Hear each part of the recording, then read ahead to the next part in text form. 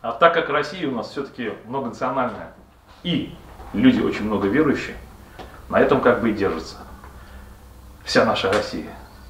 Еще раз вернусь к таким словам, как милосердие, доброжелательность, любовь, любовь к родителям, любовь к ближнему своему. На этом как бы и стоит и будет держаться наша земля. Вся сила в правде.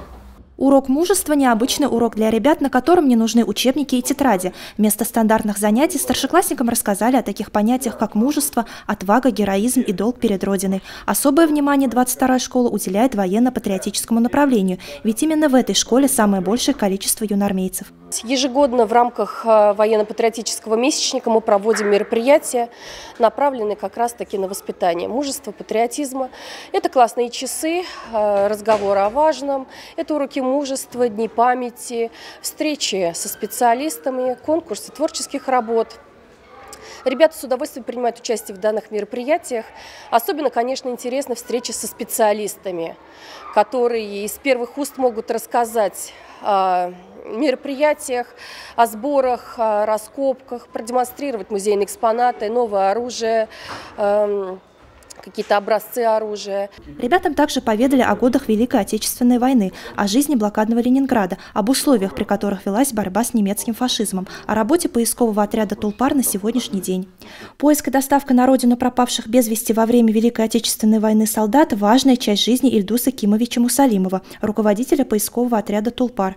Именно его команда доставила останки четырех без вести пропавших солдат со времен войны в Башкортостан, чтобы предать земле.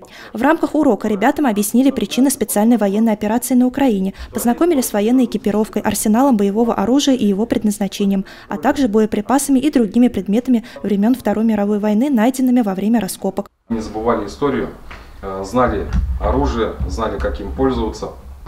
То есть э, э, сегодня мы предоставили вам такую возможность посмотреть на новейшее вооружение, которое сегодня наши солдаты защищают нашу Родину именно именно вот этим оружием.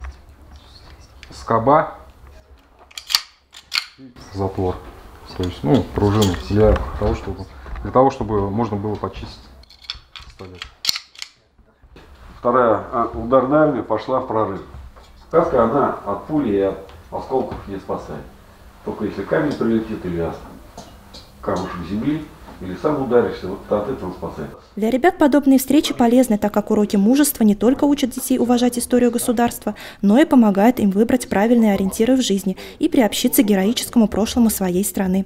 Сегодняшний урок мужества мне очень понравился. Я узнала много всего интересного о Второй мировой войне, о оружии, о павших солдатах. Э, для меня это было очень информативно и мне очень понравилось. Я думаю, что такие мероприятия нужны для того, чтобы подростки нашего времени знали настоящую правду, что на самом деле было и как это все происходило.